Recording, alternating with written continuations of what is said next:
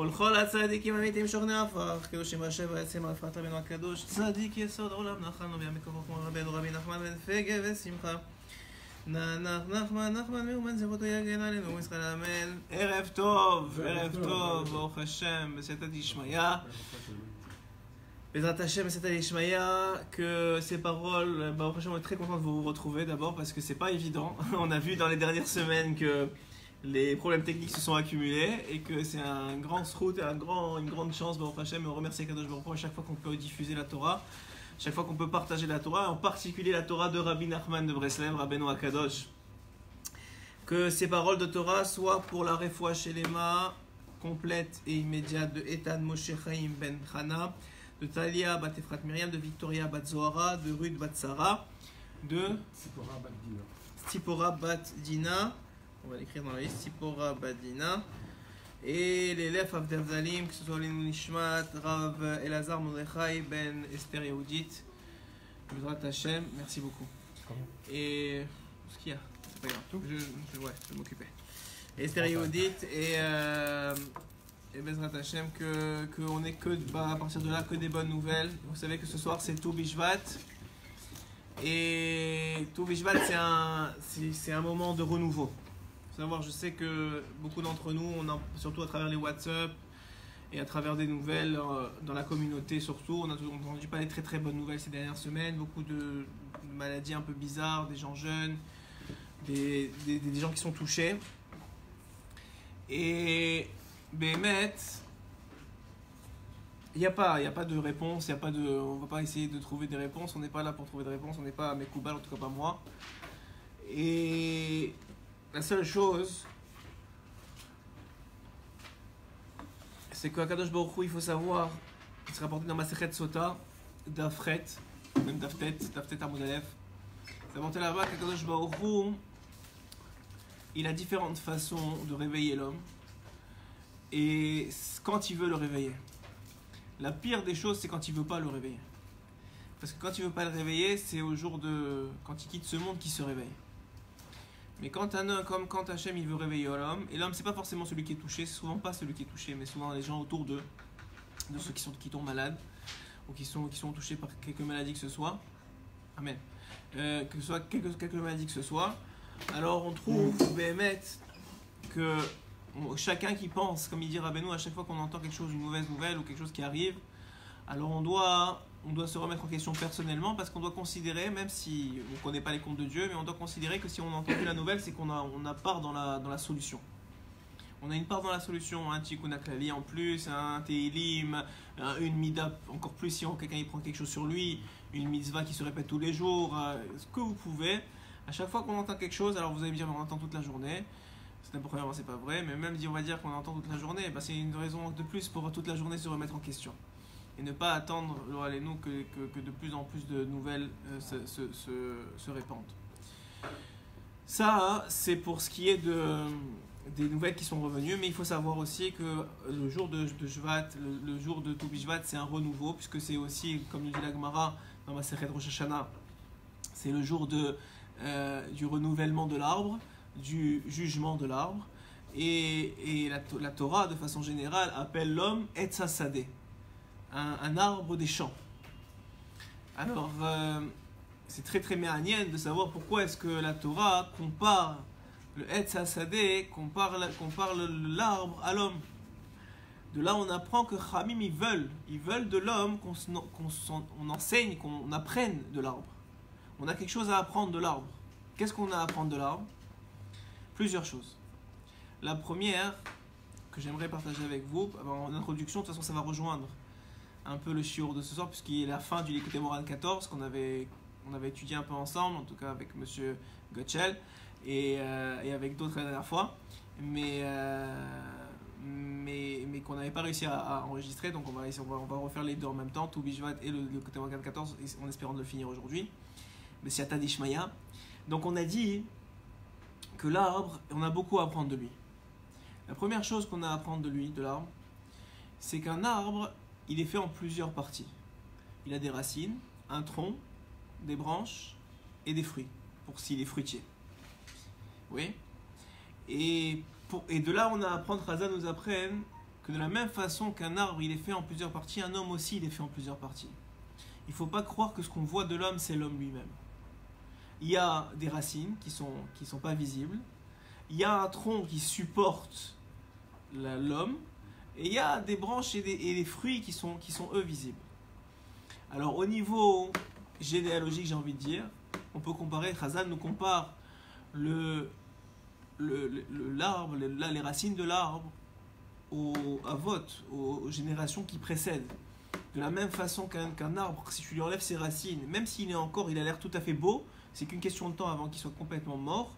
De la même façon, quelqu'un qui se déracine des racines de ses ancêtres, de nos ancêtres, en tout cas de ce qu'ils ont fait de bien, et qui évalue quelles sont les racines qu'il faut garder et quels sont les, les, comportements qu'il faut au contraire euh, déraciner, ouais, se séparer pour, pour maintenir une santé spirituelle, une santé physique aussi. Alors, grâce à ça, on arrive, Baruch Hashem, à, trouver, et sans racine, un homme, il ne peut pas grandir. On ne peut pas croire qu'un homme, il dit, maintenant je suis né, je, viens de naître et c'est fini, j'ai rien à voir avec ce qui s'est passé avant. Ça n'existe pas. Un homme sans racine ne peut pas grandir, ne peut pas s'évoluer, ne peut même pas donner de fruits, parce qu'il n'a pas de source. Ok? L'arbre en lui-même, c'est évidemment l'homme, l'homme qu'on voit, et les fruits les branches et les actions de l'homme. Qu'est-ce qui paraît de l'homme? Comment elle se comporte Les branches, on va dire, c'est plus même ses comportements, ses midotes, qui font encore partie du tronc, qui sont une, extension du tronc. La colère, ou la gentillesse, ou, la générosité, ou l'orgueil, tout ça font des parties, c'est des branches de l'homme. Et les fruits, c'est vraiment les actions, les péroulottes. Au niveau kabbalistique, ils appellent les fruits, fruits d'un homme, c'est ses mitzvot. C'est aussi ses enfants, qui sont aussi une partie de ses mitzvot finalement. Donc les fruits de l'homme, ça fait partie de là. On apprend, hein, donc même au niveau de la structure de l'arbre, que l'arbre, il vient nous apprendre cette, situation-là. L'autre chose que l'arbre vient nous apprendre et que surtout tout Bishvat vient nous apprendre, c'est que si vous regardez pas ou pas ici, parce que Hachem en Israël, on a des très beaux arbres toute l'année. Et vous allez dans certains coins du, monde, vous allez au Canada, aux États-Unis, dans certaines parties des États-Unis où, où il fait très très froid, vous allez voir que quand vous regardez les arbres au jour d'aujourd'hui, ils ont l'air morts. Et si on ne connaissait pas le fonctionnement de l'arbre qui se renaît à chaque printemps, quelqu'un qui obtiendrait un arbre et qui a planté l'arbre et qui a investi dans l'arbre et qui verrait l'arbre mort, il dirait bon ben écoute j'ai investi pour rien, c'est le temps de l'enlever. Il penserait vraiment qu'il mort, il n'y a, aucun signe de vie. Et Chazal nous apprenne que le jour de Toubishvat, pourquoi c'est le jour où effectivement l'arbre est jugé, c'est parce que c'est le jour de la renaissance de l'arbre. C'est le jour où la sève remonte des branches, remonte de la terre pour venir alimenter l'arbre. Donc c'est quelque chose que, déjà, premièrement, comment, comment les sages peuvent savoir une telle chose pareille, qui a été prouvée évidemment depuis, mais comment ils peuvent savoir une telle chose pareille C'est la période des sirops d'érable. Hein. Si vous allez, ils font saigner l'arbre. Ce qu'ils appellent saigner l'arbre, c'est qu'ils tranchent l'arbre dans les, pays froids et ça, ça coule la sève et que ça coule le, fruit de l'arbre, le fruit, l'intérieur de l'arbre. Et, et donc quoi? Et donc le, principe, il est que, que, cette sève-là, elle remonte. Donc c'est de façon générale, de la même façon que par la médecine des choses, par la réalité physique des choses, il y a un événement qui se passe le jour de Toubishvat ou dans la période de Toubishvat. De la même façon, dans la spiritualité des choses, il y a aussi quelque chose qui se passe le jour de Toubishvat. C'est un, un moment extraordinaire de possibilité de renouveau pour l'homme.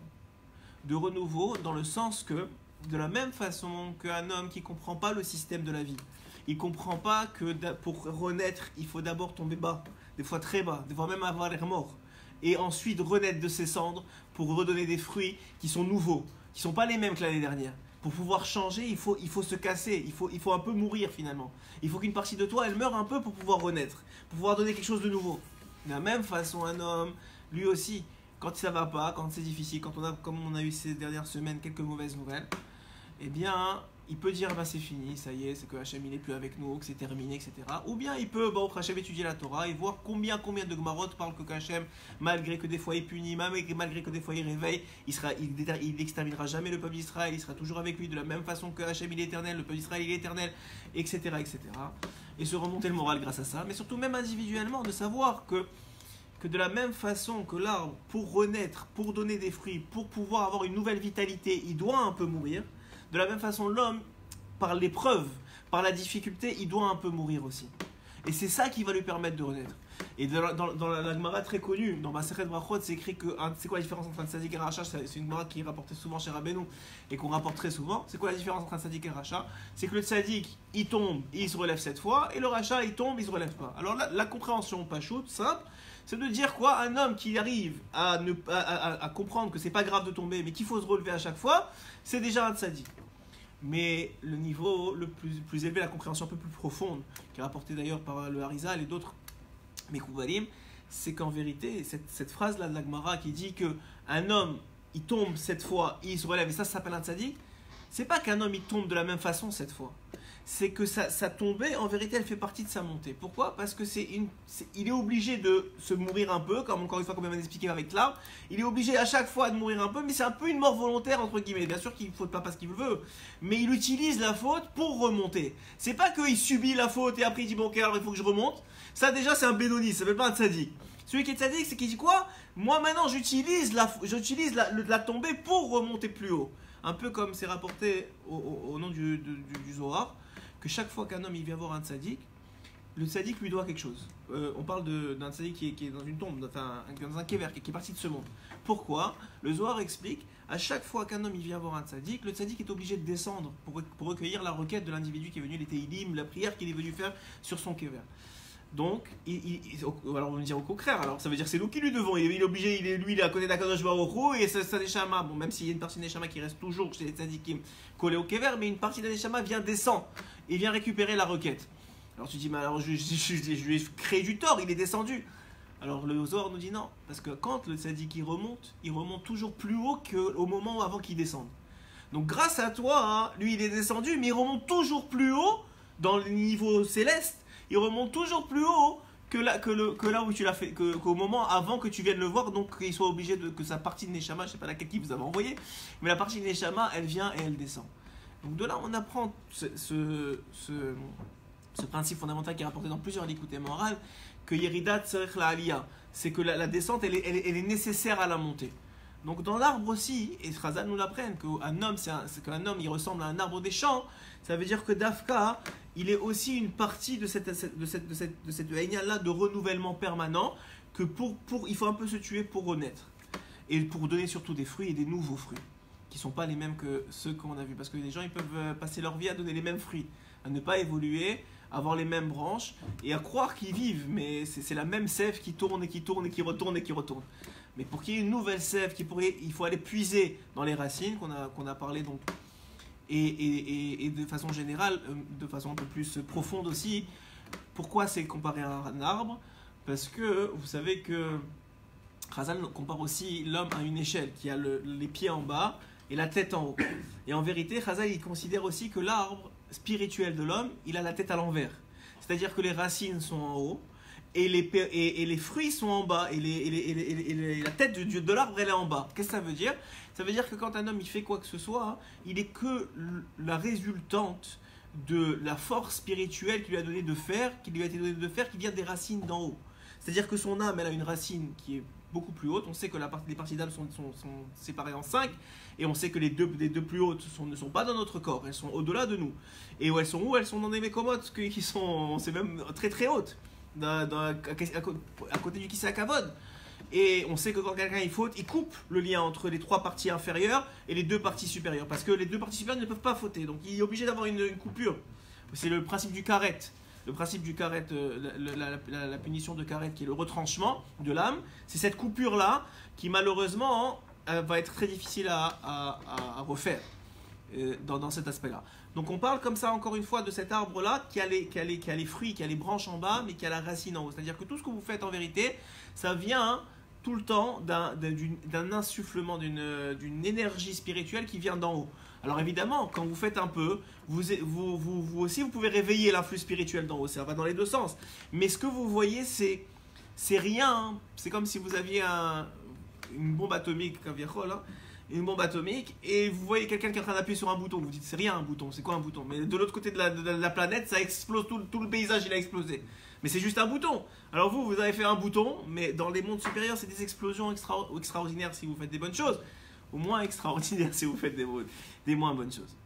L'autre chose qu'on peut apprendre de l'arbre, et on va finir sur cette partie-là pour le, pour le, pour l'arbre.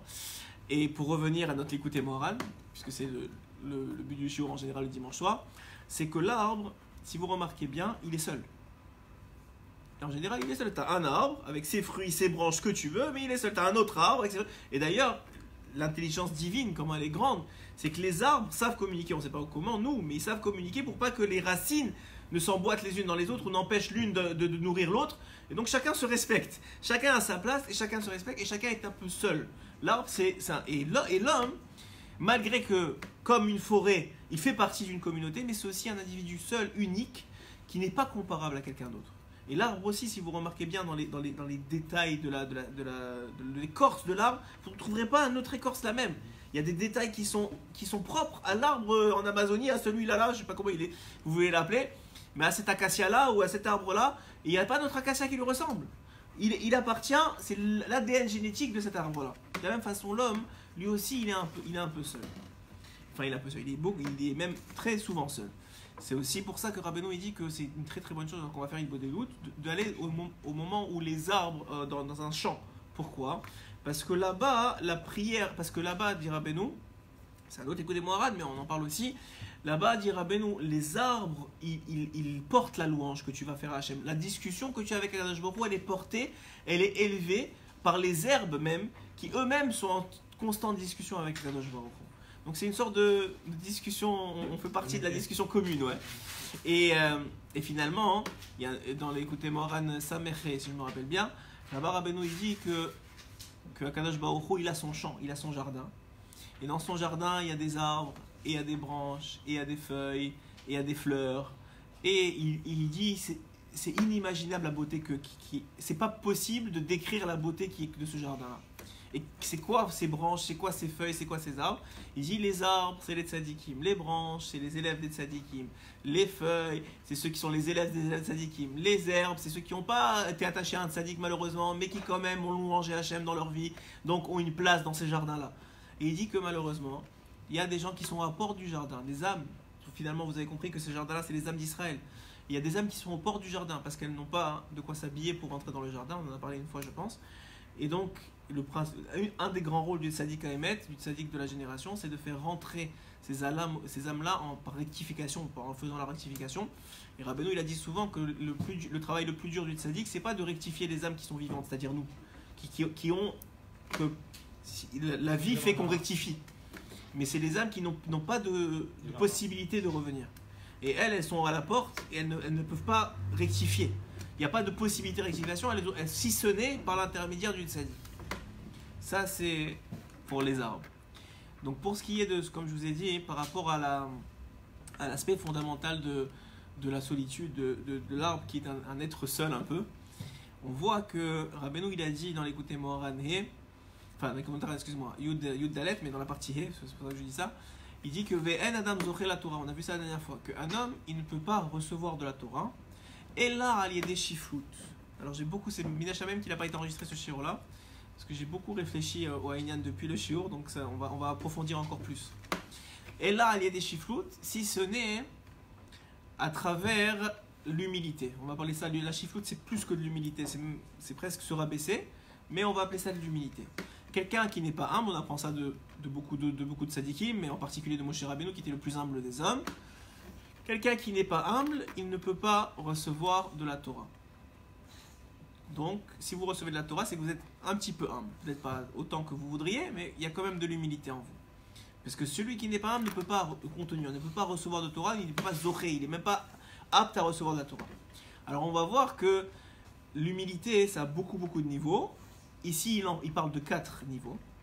Mais surtout, on va voir euh, une chose très, très importante qui m'est venue après euh, par le, le, commentaire de M. Gottschall c'est qu'il n'arrêtait pas de dire pendant le chiour, mais il y a l'humilité, mais il y a la, il a, vous avez appelé ça la, il faut que le mot me revienne, la dignité.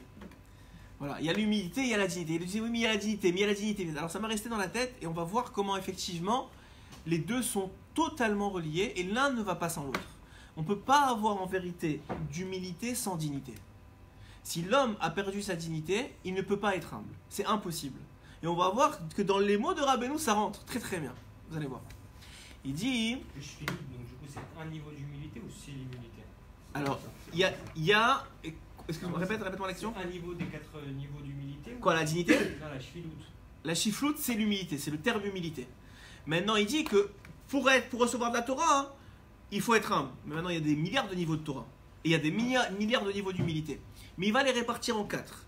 Il va nous dire, tu sais quoi, il y a quatre niveaux qui sont pas mal évidents, que tu vas comprendre qu'il y a des catégories après dans ça, mais ça, c'est les grands niveaux. Les grands niveaux sont les suivants. Le premier, c'est le plus bas. C'est qu'un homme, il doit savoir qu'il est plus bas que qu'il est, qu'il s'arrête, on va le dire dans les mots, qui D'abord, excusez-moi, j'ai sauté un, un verset qui qui qui kemo chez Chazal, comme ils ont dit nos sages dans Eruvin, donc c'est une Masechet, c'est une Gemara dans Nun Dalet. Au Mimidbar Matana et du et du et du désert, on a reçu un cadeau. Quel cadeau? Comme le désert, il est humble, il y a rien, a rien dans le désert. Alors même là, hein, on a reçu un cadeau qui est, la, qui est la Torah. On a reçu du désert quoi La Torah. Mais la Torah, ça vient d'où? Ça vient de l'humilité du désert. Ça vient de l'humilité du Sinaï aussi. C'est le, midrash très très connu. Pourquoi le Sinaï, il n'est pas venu devant Hachem alors que tous les autres euh, euh, tous les autres montagnes sont venues et on dit moi je suis plus grand, moi je suis plus belle. Et le Sinaï il est resté dans son coin, il a dit moi j'ai rien de toute façon. Alors on va voir que c'est pas parce qu'il avait rien qu'il a été choisi, parce que Hachem a fait de lui la plus belle et la plus grande au moment du, du, matin de Torah, la plus belle et la plus grande des, des, des, des, euh, des des montagnes.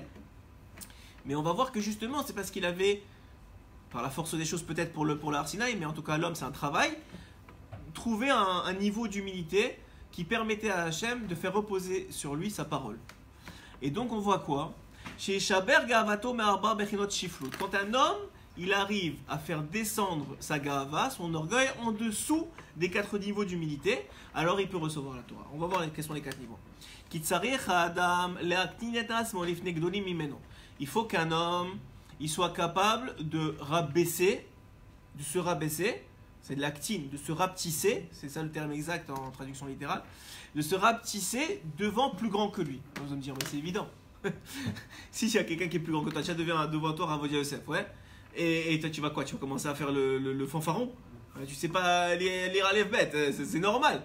Il y a Zatzal, le, le, le Rav un jour, a un ami à moi, il m'a raconté ça il y a pas longtemps, il m'a dit, parce qu'on étudiait ensemble, j'ai essayé de, de chercher de plein de, plein de, de, hein, des Inyanim sur ce, sujet-là en préparant le.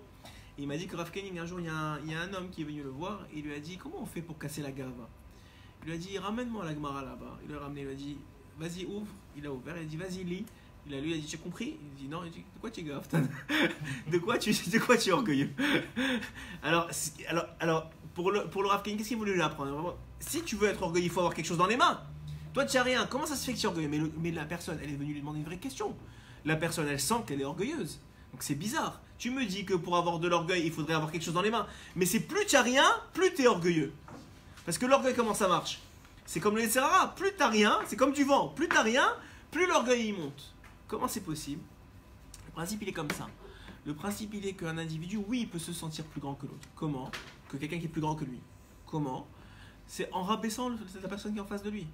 C'est-à-dire que, comme dit, comme dit la Gemara, hein, quand un homme, et c'est d'ailleurs euh, une, des- une- une des histoires qu'il a raconté Rabbi Nachman à Rabbi Nathan la première fois qu'il l'a vu, il lui a dit, au nom du Baal Shem Tov, et je pense que j'ai raconté cette histoire déjà, au nom du Baal Shem Tov, il lui a dit, il lui a dit au nom du Baal Shem Tov, que, un jour un élève du Baal Shem Tov est venu s'approcher du Baal Shem Tov. Et c'est écrit dans la Gemara hein, une chose extraordinaire. Les Hamaretz, ceux qui sont euh, pas Talmidei Chachamim, qui n'ont pas des grands niveaux de Torah, on va appeler ça comme ça. On appelle ça un dans la Gemara, ça veut dire un homme des. Ouais, c'est un ignorant, c'est une traduction méchante, un peu ignorant, c'est péjoratif. Amaret, c'est quand même pas si péjoratif que ça, mais ça veut dire c'est un homme de la terre. Ça veut dire quelqu'un qui n'a pas eu l'occasion d'étudier. On va, on va être gentil avec, euh, avec nous-mêmes. alors, alors euh, et c'est quelqu'un qui n'a pas trop l'occasion d'étudier, donc il est doucement, doucement, mais c'est pas un grand. Et Alors, un Amaret, comment ça marche chez un Amaret, dit l'Agmara? Quand elle rencontre un grand, grand sadique, au début, Ouah, c'est un grand sadique, tout le monde il est connu dans la ville, c'est un grand sadique. Et puis, plus il se rapproche de lui, il commence à écouter des paroles de lui, etc. Puis l'individu, ouais, bon, c'est un, c'est un Tamit c'est quelqu'un d'intelligent, mais bon, un grand sadique, quoi, ça n'a pas l'air si grand que ça. Et plus il se rapproche de lui, si jamais, dit la Gemara, le Tamit il a, enfin, le sadique, il a le malheur, entre guillemets, de lui demander un service, amène-moi là, ou fais-moi ça, ou amène-moi un verre d'eau, tout de suite, ou dire un maret, bon, ben, c'est un homme normal, c'est pas un sadique. Ça veut dire que comme lui, sa vision des choses, elle est tellement limitée, donc face à lui, même s'il a un grand sadique, au bout d'un moment, ça va devenir un homme normal. Donc de la même façon, un individu, c'est pas de sa faute s'il n'a pas de Torah. Et en vérité, c'est ça qui est incroyable. C'est qu'il t'a dit que tu peux pas avoir de Torah sans chiflout. Mais tu peux pas avoir de chiflout sans Torah. comment tu fais Comment ça marche? Et c'est une, une, des questions qu'on va répondre. C'est une des questions de Rabbi Nathan. Rabbi Nathan, il pose la question. Il dit Tu, Rabbeinu, il me dit Tu peux pas avoir de Torah sans chiflout, sans modestie, sans humilité. Mais je peux pas avoir de modestie sans Torah. Alors comment ça marche? Alors on va voir. Qu'est-ce que Rabbi Nathan dit? Mais on va continuer d'abord sur ça. Donc le principe, il est que le, plus, bas niveau, c'est qu'un individu, des fois, quand il est. Quand il n'a pas assez de Torah, il n'a pas assez de. Même la Torah, c'est aussi des midotes. Les bonnes midotes s'appellent la Torah. Les bonnes midotes, le fait d'être quelqu'un de. Qui, qui, se connaît sa place, qui, voit les, qui, qui, qui donne de l'importance de aux autres, qui donne de la, de la place aux autres, qui prend pas toute la place. Ça aussi, ça s'appelle la Torah. Donc l'individu, s'il n'a pas de Torah, alors tout de suite, il peut pas supporter. Pourquoi? Pourquoi il peut pas supporter? Alors on va voir qu'en vérité, et c'est peut-être, on va commencer par, par ça, parce qu'en vérité, ce qui m'a fait comprendre depuis le dernier chiot, cette phrase-là, c'est ce qu'on a parlé la dernière fois, c'est la dignité. C'est quoi? C'est qu'un individu, s'il n'a pas de dignité, c'est quoi la dignité? Alors sachez que la différence, c'est quoi la différence entre l'humilité et la dignité? La dignité, c'est face à soi-même. C'est un peu comme l'arbre tout seul. La dignité, c'est toi et toi-même. Comment tu te vois, comment tu te respectes en tant qu'homme? Est-ce que à tes yeux, tu es un Ben Adam ou tu es, bon, c'est pas grave, je suis n'importe qui, de toute façon, moi, mes, mes, paroles n'ont aucune valeur, mes, mes, actions n'ont aucune valeur. Il voit pas le, le, la racine de ce qu'il est en haut. Il voit juste euh, la finalité qui n'a l'air de rien. Ouais, ah, c'est pas grave si j'allume la lumière, c'est pas grave si je respecte ma Shabbat, c'est pas grave si je parle mal, c'est pas grave si je m'habille mal. Si c'est, écrit dans la, dans la qu'un tamit chacham, c'est très très grave. Un tamit chacham qui est sale, il hayab mita. C'est très grave, c'est pas une petite chose. Ça veut dire, euh, oh, m'a dit, attends, attends, ça va, c'est pas grave, il est sale. Non, c'est pas, il est pas hayab mita parce qu'il est sale. Il est hayab mita, pourquoi? Il est d'abord, premièrement, une question de hayab mita, c'est tellement punissable parce qu'il manque de dignité tu, tu manques, tu as, tu as enlevé de la valeur à la Torah que tu étudies, à la Torah que tu représentes. C'est de ça que tu as enlevé de la valeur. Et ça, Hachem, il te dit, tu n'as pas le droit. Parce que la Torah, elle t'appartient pas. C'est moi qui te l'ai donnée. Elle t'appartient pas, la Torah. La vie non plus ne t'appartient pas. C'est moi qui te l'ai donnée. De quel droit tu la méprises? De quel droit tu te permets de, mépriser la Torah ou les capacités que je t'ai données dans la vie? Qui t'a donné le droit? Hachem, il t'a donné de l'intelligence. Et toi, tu fais, mais non, c'est pas grave, je vais aller faire tu sais, tu rentres chez toi, je vais faire ça, je vais faire ça, et tu dis, non, ouvrir un livre. Quelqu'un qui étudie, qui ouvre un livre, dit, voilà, Hachem m'a donné de la chokma, il m'a donné l'intelligence, je la mets à son service, je la mets pour lui, c'est pas à moi, ça montre de la grandeur. Mais et un Tamit Racham, il s'habille bien, il fait attention à comment il est habillé, ou même comment il parle, ou même comment il se comporte. C'est pas par gava, au contraire, c'est par dignité. Par contre, par contre, quand est-ce qu'on voit qu'un vrai Tamit Racham, il est humble? C'est quand il se comporte avec les autres. Quand un Tamit Chacham, on voit les, le Rabbi Yosef, Mina Shamaim, j'étais en Khouslaret, oui, et en, prenant l'avion, le lendemain, je pense qu'on a fait Chiour, le surlendemain, à 5h du matin, je marche et Hachem, il me met dans un groupe qui était en train de passer les passeports. Donc moi aussi, j'étais dans le groupe en train de passer les passeports. Et, et je me mets, je, ne sais pas pourquoi Hachem m'a mis entre le groupe, c'est-à-dire il y avait des gens du groupe en avant et des gens du groupe en arrière. Et un rave je sais pas c'est qui, vraiment, on voit que les, grands, comme le Rav Koenig Zatzal, ou même les grands d'aujourd'hui, des, vrais Tamil on voit qu'ils ont de la malchoute. Ça s'appelle la malchoute, ça veut dire ils ont de la royauté. Et la royauté, c'est pas de on se sent supérieur à toi, non, c'est imprégné dans la personne, que comment elle se comporte, ses gestes, ses comportements, sa façon d'agir, sa façon de parler, sa façon. Alors cette, ce, rave, il m'a paru tout de suite très grand. Il fermait les yeux. D'abord, je sais même pas comment il, se, il, se, il se mouvait, comment il, se déplaçait. Il était tout le temps en train de fermer les yeux. Et il parlait. Alors, il était avec d'un élève à lui, je suppose. Enfin, c'est un élève à lui. Après, j'ai appris. Après, j'ai investigué un petit peu, mais au début, je, ne comprenais pas très bien ce qui se passait. Et donc, euh, il était en train de parler de Torah. Alors, l'élève, il était avec son livre en train de vérifier qu'est-ce qu'il disait. Enfin, il parlait de Mishnayot. Et le rave, par cœur, par cœur, par cœur. Si c'est bizarre, ok, très bien. Alors je m'approche de l'élève une fois qu'il a fini sa discussion et je demande à l'élève euh, c'est qui le Rav? Alors il me dit c'est le petit-fils de Rav Yosef, Rav Yitzhak Yosef. Alors je lui dis ah oui, et vous allez où? Il m'a dit on va à Ouman. Chez Rav Nachman. Vous imaginez? C'était un Ishmael de fou. Alors j'ai dit, wow, il va au Man. Et le Rav, il va souvent au Man. Il me dit, oui, il va souvent au Man. Ah, je lui ai dit, très bien. Alors tu sais quoi? Je vais lui. Je, on, je venais sortir de la l'écouter Moran Dalet. Donc je lui pose la question. Je lui dis, Vodarav, euh, je suis en train d'étudier l'écoute Moran Dalet. Qu'est-ce que vous pensez de la, haute haie Alors j'ai même pas fini ma phrase. Qui dit oui, là où il parle de l'humilité. Il connaît par cœur. Le côté marron, il le connaît par cœur. Il m'a sorti après d'autres les côtés marron par cœur. Et il m'a sorti celui des Teilim par cœur. En tout cas, il m'a- explosé sur place. et, euh, et donc, euh, et donc il, me, il, me dit oui, il parle de l'humilité. Alors il, sourit. Il me dit le, il, y a, il y a- le Baal Shem Tov, il a dit à ses élèves si jamais vous demandez à un rave qu'il vous, vous explique ce qu'est l'humilité, s'il vous répond, éloignez-vous de lui. éloignez-vous de lui. Ça veut dire euh, il sait rien du tout. Il dit la, la seule, la, seule solution à l'humilité, il m'a répondu comme ça, il m'a dit la seule solution à l'humilité, c'est la tefila, c'est la prière. Quelqu'un qui veut acquérir l'humilité, c'est seulement à travers la tefila. Parce que c'est que c'est un cadeau d'Hachem. C'est pas une chose, c'est un tel travail sur soi que c'est un cadeau de. La prière. Alors là, je suis qu'il était Breslev. S'il m'a répondu ça, j'ai su que il avait, il avait de ce qui sur qui tenir. Alors, euh, et après ça, on a parlé un peu de, différents et Marad. C'était très très intéressant. Ça a duré pas longtemps, mais j'ai beaucoup appris en très très peu de temps. Et pourquoi je vous dis tout ça? Parce que là-bas, j'ai, un peu compris. J'ai, connu quelques grands grands grands grands mais j'ai compris que d'un côté, il était d'une dignité extrême, mais extrême. Il était habillé, on dirait un roi. Il était avec le chapeau, fermé les yeux. Et même, on est passé devant les passeports. Vous savez, à un moment, on doit prendre la photo. Alors là, on lui dit de se mettre devant la caméra, mais lui ferme les yeux. Donc il se met devant la caméra, mais à côté. Donc la, la, fille, c'était une, femme qui passait, la, qui passait la caméra. Et là, elle, elle, un peu, elle se moque de lui. Et lui, il comprend, mais il dit rien. Il, comprend qu'il est dans la vérité, donc il dit rien. Et il se remet, enfin, on, le pousse, on le met devant la, la caméra. On- unité, dignité extrême. Ça m'a fait penser un peu comme on m'avait dit que votre, euh, quand votre beau-père, c'est ça, qui était, qui était à Auschwitz, où, on sait que de- depuis Paro jusqu'à Auschwitz, malheureusement, mal. Tout ce qu'ils ont voulu, enlever aux Juifs, c'est sa dignité. Pourquoi C'est sa dignité d'homme? Tu vaux rien. C'est pas la peine que tu vives. Tu vaux rien. Mais Dafka, qu'est-ce qu'est-ce que Hachem il leur a prouvé Il prouvé que non, les, Juifs ils vivront pour l'éternité. Parce qu'ils ont une dignité. Et la dignité, c'est la Torah qui te l'apporte, en, en principalement. Mais, mais donc cet homme-là, il avait une telle dignité, mais d'un autre côté, il m'a parlé comme si j'étais un ami, alors que jamais je ne pas que je le connaissais pas. De là, j'ai vu et j'ai compris ce que Rabbeinu il a dit. Un peu, c'était un peu un remède de Rabbeinu. En plus, il allait chez Waouman, alors j'ai compris que c'était un Sete très énorme. Que j'ai compris qu'en vérité, un homme d'abord, d'abord, avant tout, il doit travailler sur sa dignité.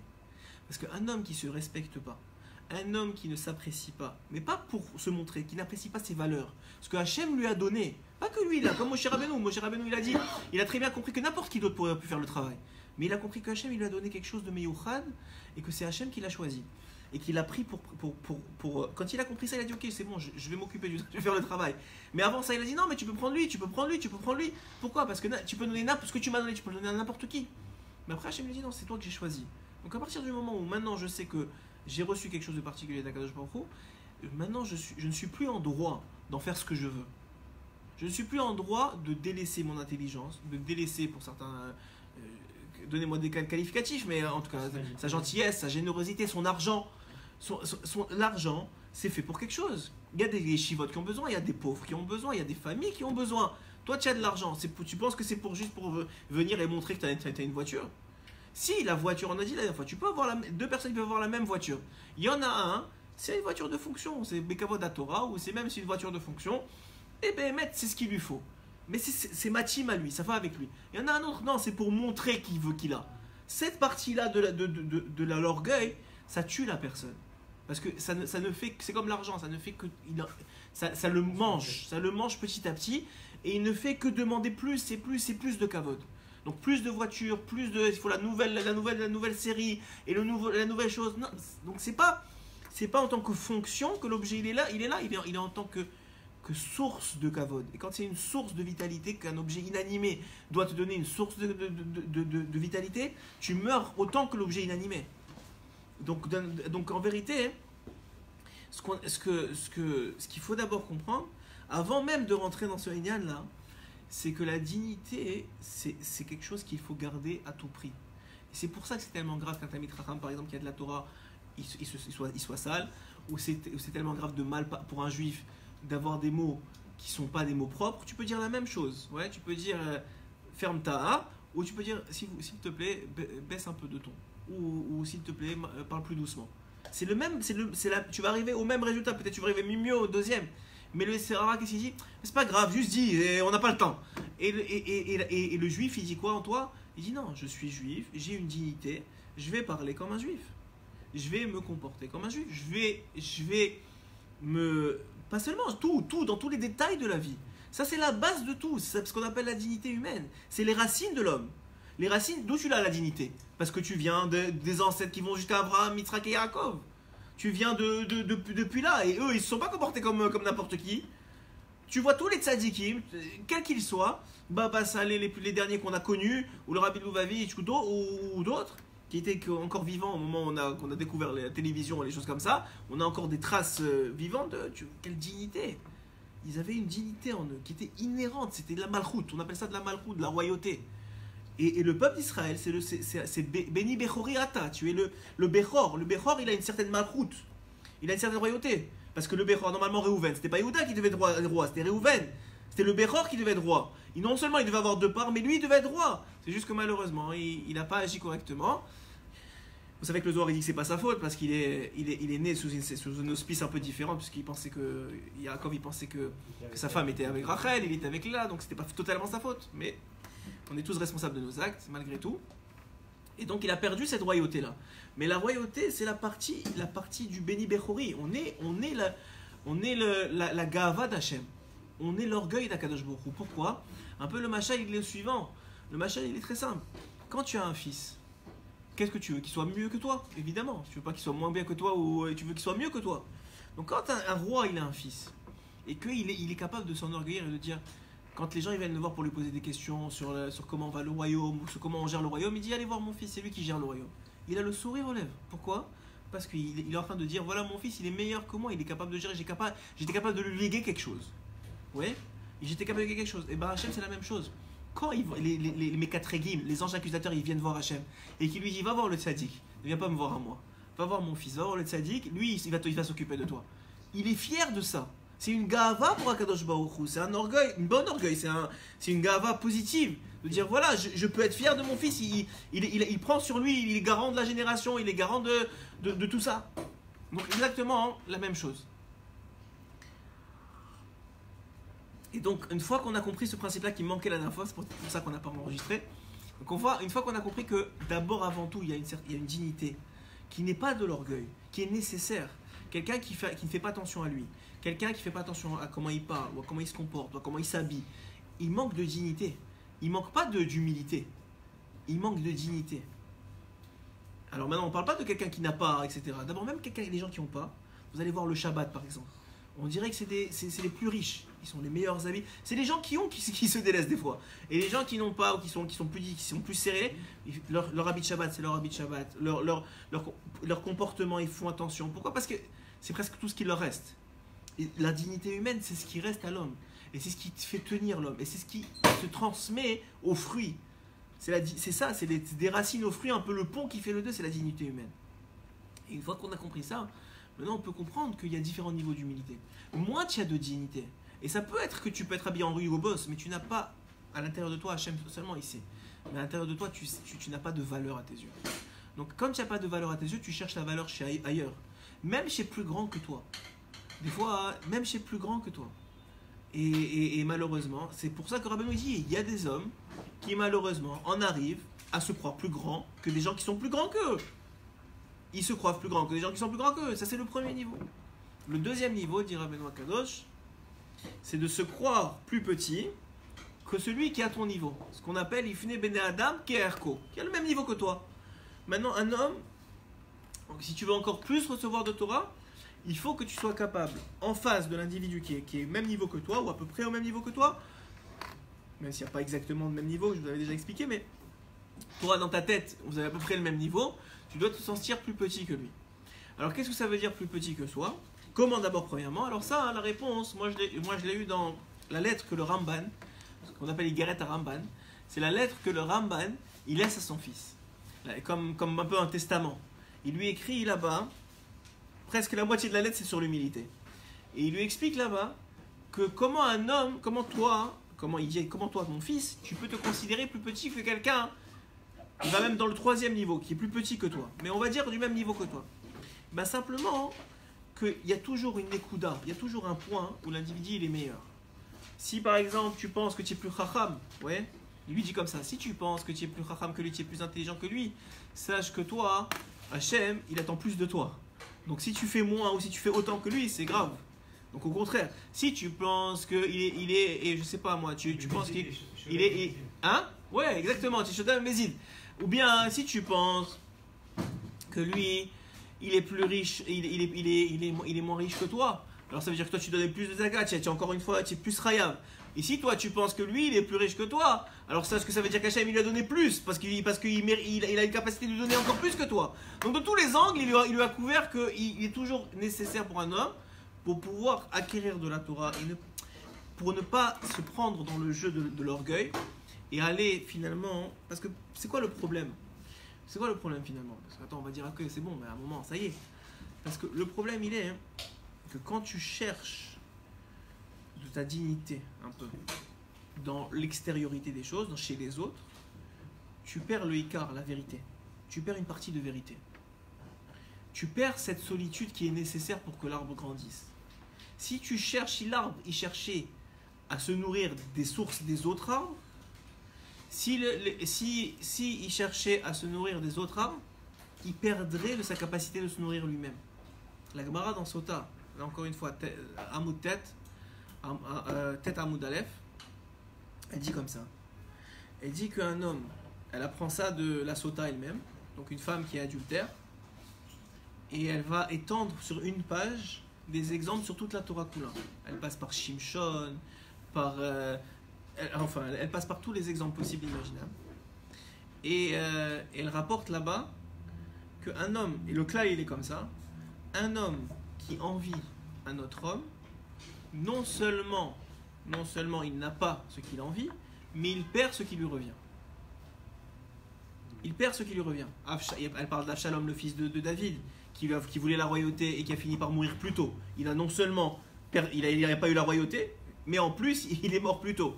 Elle, elle, parle de comme ça des exemples et des exemples sur toute la Torah Kula. Et elle rapporte qu'à chaque fois, c'est le même principe. Un homme qui envie un autre homme, il finit, Achitophel avec, euh, avec, avec David aussi, qu'il il, il, enviait, il voulait, il, voulait- la royauté lui aussi. Et finalement, il a, il a dénigré parce qu'il enviait même son intelligence. Normalement, dans la, dans la Gemara, dans ma dans ma Seret Brachot, là-bas c'est rapporté que, euh, que l'intelligence ou, la- Torah d'un homme, on pourrait éventuellement l'envier. Mais on voit que même ça, c'est très très dangereux. Parce que, parce que l'envie en tant que motivation, c'est très bien. Mais le problème, c'est que ça, peut très vite tomber dans la jalousie. Et la jalousie, ça sort l'homme de sa motivation, ça sort l'homme de sa grandeur, ça sort l'homme de ses racines, ça sort l'homme de, de son fruit, ça sort l'homme de son arbre. Il sort de, lui-même. Oui, il s'écrit que trois choses sortent un homme de son monde, et une des choses, c'est la recherche du kavod. Et finalement, et finalement, donc on prend de là. Assis-toi, s'il te plaît. Et, finalement, on comprend de là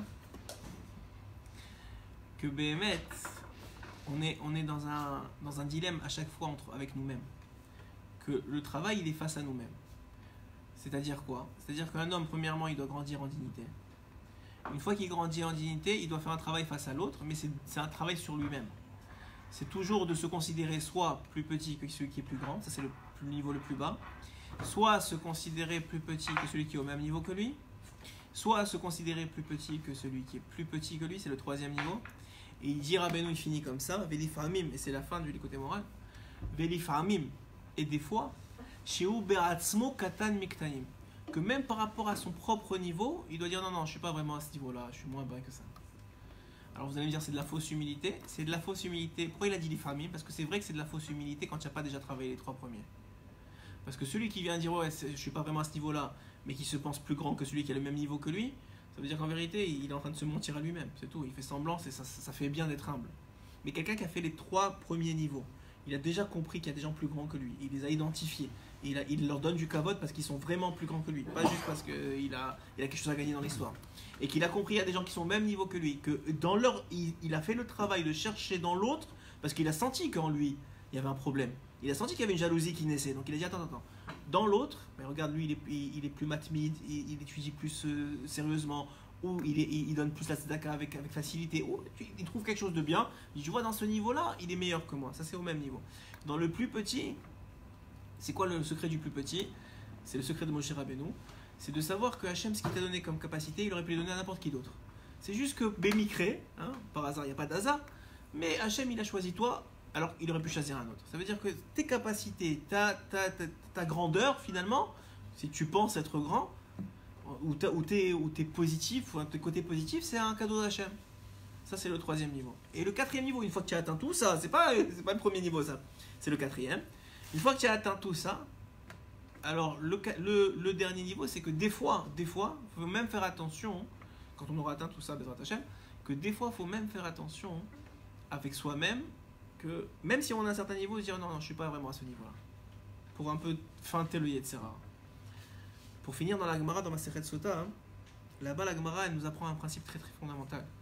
C'est que donc, puisqu'un homme, il sort, il perd même ce qui lui, ce qui lui, était, ce qui lui était dû, il le perd. C'est-à-dire que, par exemple, elle donne pour Achitofek qu'il est mort plus tôt. Donc il lui restait des années. Il devait, il devait grandir en Chorma. Il devait grandir en intelligence. Mais puisqu'il a, il a jalousé, il a et dénigré David, puisqu'il a jalousé et dénigré David, il a perdu de ses années, donc de la Chorma qu'il aurait pu acquérir qu'il aurait de toute façon accueilli. Peut-être peut le niveau d'aujourd'hui de David, il l'aurait acquis à la fin de sa vie. On ne sait pas comment ça finit. Mais lui, il a, jalousé David, donc il a perdu même ça. Donc de là, on apprend quelque chose d'incroyable. Parce que Rabbeinu aussi, il explique. C'est que le Yetzirara, des fois, hein, il voit dans l'homme qui va acquérir des choses. Mais même matériellement, il mérite des choses dans le ciel. Et on va lui donner. Mais le tout ce qu'il veut, c'est qu'il ne les acquiert pas. Qu'il ne le reçoive pas. Donc qu'est-ce qu'il fait? Il trouve tous les moyens possibles imaginables pour lui faire perdre la chose qu'il a déjà acquis dans le ciel, dans, dans sur Hachim, dans ses sources, dans ses, dans sa, comment on appelle ça, les, les, hein? Dans son mazal, dans, dans les shurashim, on a parlé dans, dans le, les, racines. dans l'arbre, on a parlé des racines, dans ses racines, c'est déjà acquis. C'est juste, maintenant il reste juste à descendre dans ce monde-ci. Mais toi tu le sais pas, mais le, lui il le sait. Donc il dit attends, lui il doit recevoir une belle maison. Qu'est-ce qu'on va faire? On va, on va rentrer en lui maintenant de la kina, de la jalousie pour son ami qui vient d'acheter une maison. Maintenant, tout tu n'as jamais été vraiment jaloux de ça, mais tu sens maintenant qu'il y a quelque chose de bizarre. Tu commences à être jaloux. Ouais, regarde, il a la maison, il a acheté la maison, je sais pas quoi. Il commence à sentir qu'il a une kina. Alors, l'intelligence, celui qui n'a pas de, de d'intelligence et de Torah, il va, il va tomber dans le piège. Comme, comme quand il y a du savon, tu glisses. Tout de suite, tu glisses. Ça, c'est quelqu'un qui n'a pas de chorma, qui n'a pas d'intelligence. Quelqu'un qui a de la chorma, il dit non, non, c'est pas normal. Pourquoi? Pas, Encore parce qu'il a beaucoup de dignité. Il dit c'est pas normal que moi je sois jaloux il y, a quelque chose qui. J'ai de la dignité, la dignité encore une fois, j'ai un respect de moi-même. Je suis fils de Dieu. Ça veut dire que moi, moi, je suis une partie de Dieu. Donc, je suis vraiment, fondamentalement, je suis quelqu'un de bien. Donc, pourquoi il y a de la jalousie qui s'accroche à moi?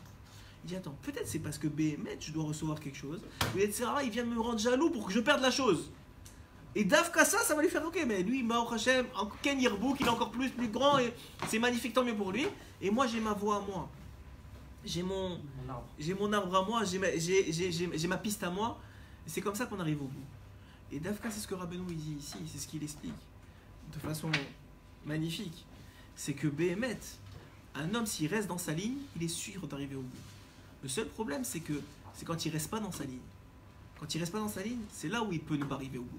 Mais quelqu'un qui reste dans ses, dans ses blocs, ouais, comme on dit, les sprinters, il reste dans ses blocs, il va pas à gauche, il va pas à droite, il reste dans ses blocs, c'est sûr qu'il va, à un moment ou à un autre, il va arriver au bout. Peut-être pas dans cette vie, mais il va arriver au bout. Et donc, Dafka là, hein, tout part, et c'est ça que j'ai appris de vous la dernière fois, c'est que tout part d'un sentiment et d'une culture de la dignité. D'une culture de, de, la valeur humaine, de la valeur qu'on a nous en tant que juifs, encore plus qu'en tant qu'humain, parce qu'un Ben Adam c'est un, niveau moins élevé, je vous le rappelle, qu'un qu Yehudi, et un Yehudi c'est encore un niveau moins élevé qu'un Israël. Vous voyez, Rabbeinu, dans les côtés moraux, il fait la distinction entre Israël et Yehudi. Israël, c'est le niveau qu'on a reçu de Yaakov Avinu après la, après la, bataille avec Esav. Donc c'est un niveau encore plus élevé spirituellement. Donc ces trois niveaux-là, en vérité, ils sont là pour, pour, nous montrer que chaque fois, on a à, nous élever en tant, en tant qu'homme. Chaque fois, on peut grandir, on peut vieillir comme le bon vin. Ou on peut tourner au vinaigre. Comment tu tournes au vinaigre Quand tu n'es pas dans les bonnes températures, dans les bonnes conditions, quand tu viens chercher l'autre, quand tu vas chercher chez l'autre, quand tu te compares à l'autre, tout de suite, tu peux très vite tourner au vinaigre. Mais tant et aussi longtemps que tu restes dans ton baril à toi et qu'il n'y a pas d'air qui rentre, qu'il n'y a pas de gava, il n'y a pas d'air qui rentre dans ton baril, tu ne tourneras pas au vinaigre. Tu resteras, tu, mûriras comme le bon vin. Et à la fin, et à la fin tu verras que, les gens eux-mêmes, ils viendront te voir pour te poser des questions, pour te demander comment tu as fait pour en arriver là? Et qu'est-ce que tu vas dire? J'ai prié, j'ai demandé à Kadosh Baruch j'ai gardé le lien et je suis resté dans ma, partie à moi. Je suis resté dans, mes, starting blocks. Et comme ça, un homme, il devient Béhémet, un, Israël. Il devient un, niche israéli, comme il l'appelle Rabbeinu Akadosh. Alors, Bezat Hashem et Yeshua, qu'on soit Zoché Béhémet, de devenir des Amen. de, de, de se concentrer sur nous.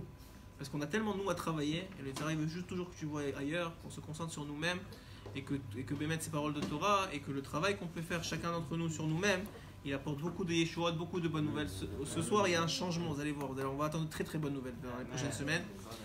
Hashem, on va attendre de très très bonnes nouvelles, c'est un changement complet dans la nature des choses, dans la nature, la médecine de la vie. Et Bezrat Hashem, on va attendre que des réfois, des bonnes choses, Bezrat Hashem. Zakou,